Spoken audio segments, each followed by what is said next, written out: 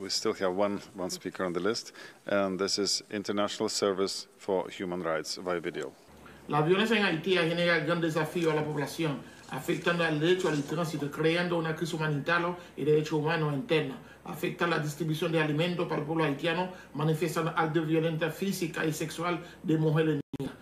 Hace más de un año no hemos logrado tener acceso a nuestra oficina en Haití, evitando que damos respuesta a las necesidades de relación de salud, educación y orientación humanitaria. El, el desplazamiento calcula a más de un millón de personas. La crisis política en Haití afectando a los que emigrando a distintos países de las Américas, afectando otro tipo de violencia. Somos conscientes que todo país debe tener a quien acepta su territorio. No, sin embargo, ejecutando medidas de deportación en medio de esa crisis es solo un acto de crueldad absoluto, sino también una violencia de principio de no de evolución. Asimismo, el dominicano, el gobierno dominicano ha los derechos humanos de los inmigrantes haitianos que viven hace una década en el territorio, no permite renovarse su documento migratorio, realizando redadas discriminatorias maltratando a personas dominicanas de tercer suelo, principalmente aquel que no posee documento.